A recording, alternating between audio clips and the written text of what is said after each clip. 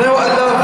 Do you know what I love about this this venue is everywhere else that we played in, in Europe it's light for the first like hour and a half of the, of the gig and all of these lights that look so amazing in the dark sort of only start looking amazing after an hour, hour and a half in so you guys get the full kind of like whack of it which is cool. And I also man I forgot I forgot how polite you guys are. This is so lovely. You're listening. Now, and what I will say is that by the end of the gig, I am expecting everyone in the stadium to have lost their voice. So, as as polite as you are, there are there, there's going to be there's going to be quiet songs that we listen to quietly, and then there's going to be songs where I'm I'm expecting to feel the full force, the full force of the voices that you can bring.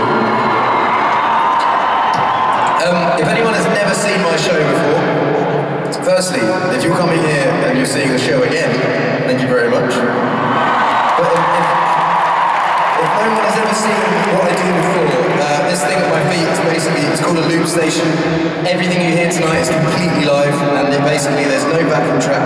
It's recorded live on the spot, controlled with my feet, and at the end it's deleted, and it won't be the same tomorrow.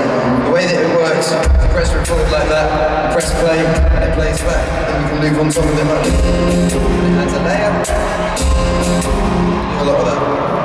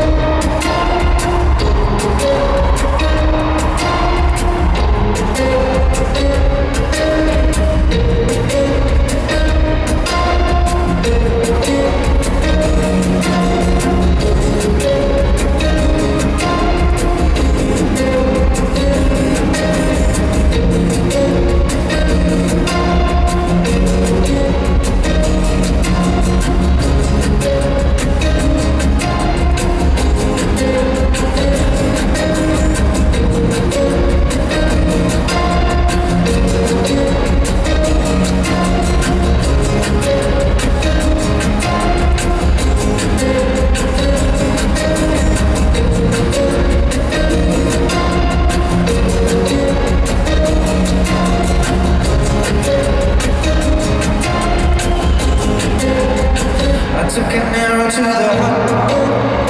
I never kissed a mouth that tastes like gold. More. Oh yeah, I want it all. Lipstick on my